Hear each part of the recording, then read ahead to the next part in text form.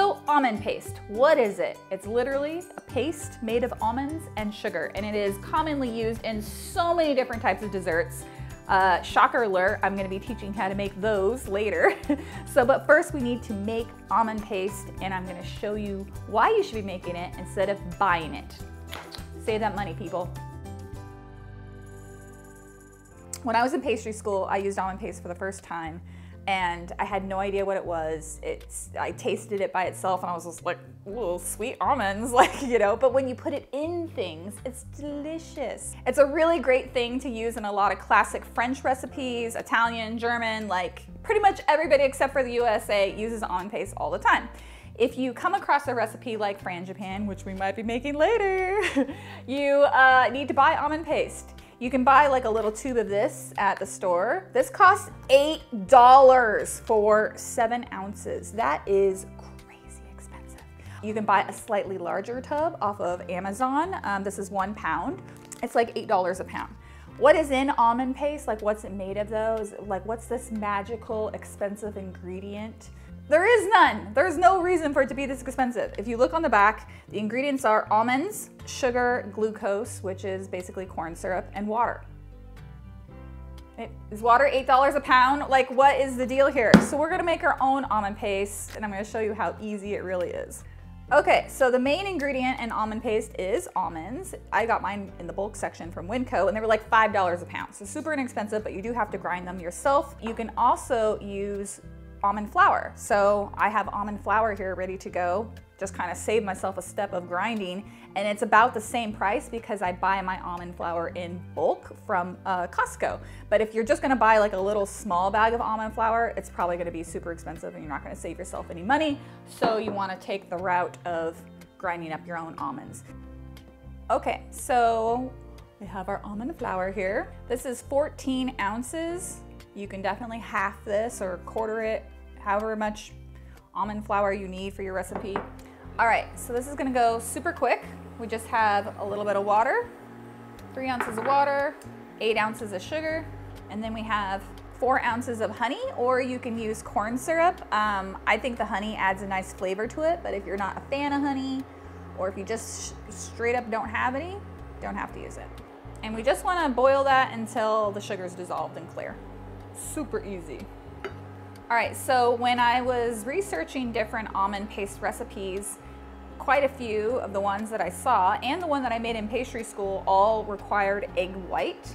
Um, the thing about egg white though is that you're not necessarily cooking almond paste every single time. So especially when you're making like marzipan or um, certain things that use almond paste, you don't cook it. So some people have problems with there being egg white in there. And as far as I can tell, there's no difference between using egg white and corn syrup as a binder um, or honey. So why not just use the corn syrup and the honey? It might not be like super traditional, authentic almond paste, but in my opinion, I would rather use corn syrup and honey than egg white. The other thing is if you use egg white, the almond paste has a much shorter uh, shelf life. You can only use it for as long as the egg white is still fresh, which isn't very long. So if you use corn syrup or honey, the almond paste will last much longer in the refrigerator. You can freeze this for up to six months, but really, like, why not for longer? All right, that's boiling, so it's done. So easy. So I have my ground up almonds in here. Put our lid on. I'm gonna put this on low. And then we're just gonna drizzle our hot syrup into the ground up almond flour until it forms a paste. So this should be like a thick ball when it's all ready to go. So if it's too loose, this is like not pasty enough. So I'm gonna add a little bit more flour into it. And I have a feeling that's because it was almond flour and not ground up almonds because the first time I made this with ground up almonds, it was perfect.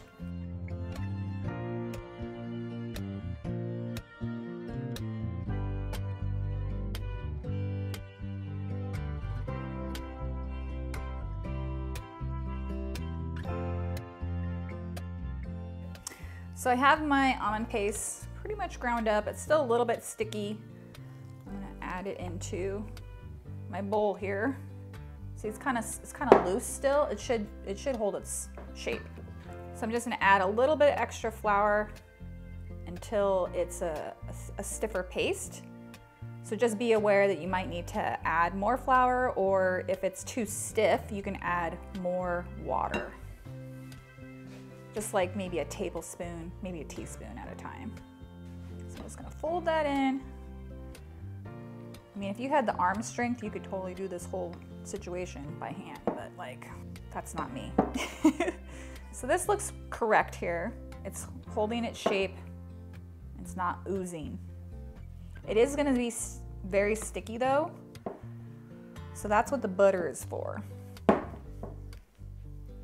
So when I make the almond paste, I do notice that it's just not as finely textured as the stuff that you buy commercially. So, I mean, that is one reason to buy it, is it's just gonna be a finer texture. But I feel like when you're baking it, it doesn't matter. It's totally okay. So when you first touch this, it's like super duper sticky. You take a little bit of the butter, I'm just gonna work that in there. And this just takes away the stickiness. Make sure you wait for your almond paste to cool down a little bit before you knead in the butter. Otherwise, it'll just turn into a really soppy, melty mess. I'm just gonna let this cool down a little bit.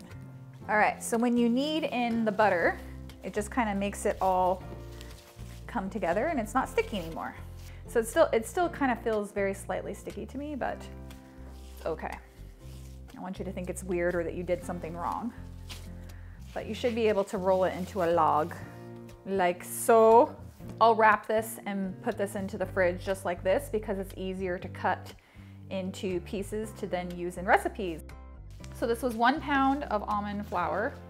This makes almost two pounds, so it's for about $7. So that's pretty good savings right there. It's not quite as fine as the store-bought stuff, so this is our store-bought almond paste, which is a little bit firmer um, just because it's been resting, but you, there's like absolutely no grains in this. And the stuff that we made is a little bit grainier.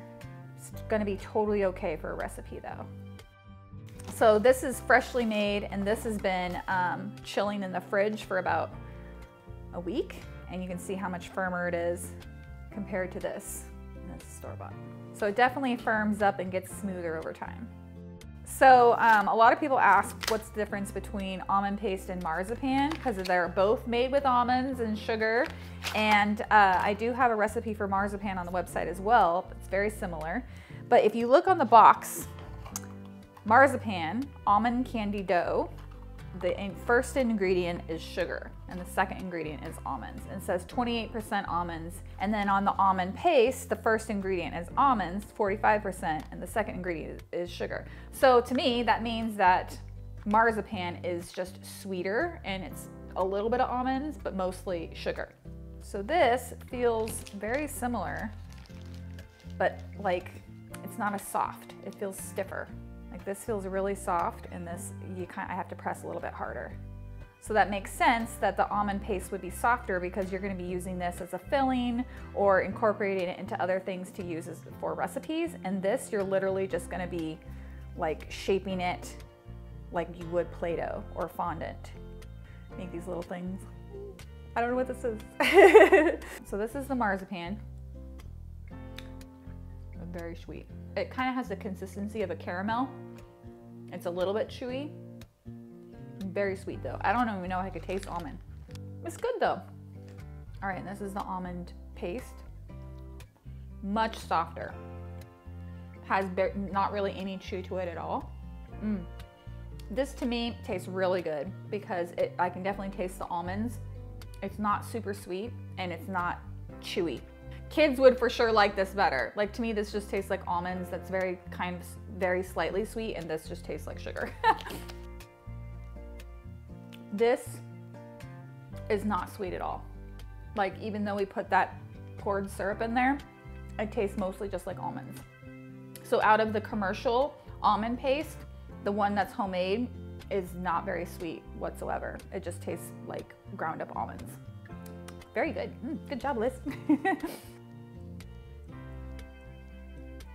The one that I just made, you can really taste the honey actually. It adds a little extra dimension of flavor. Similar to like you'd be using brown sugar instead of white sugar, it actually imparts a flavor. So the honey acts as corn syrup and keeps things nice and soft, but I can actually, mm, that's really good. All right, so now that you know everything there is to know about making almond paste, make sure you hit that subscribe button. New videos on Tuesday and keep an eye out for upcoming videos using almond paste. It's gonna be awesome. It's gonna be delicious. I'm Liz Marek. Thanks so much for watching and I'll see you guys next week. I haven't had lunch. I was gonna say, stop eating it.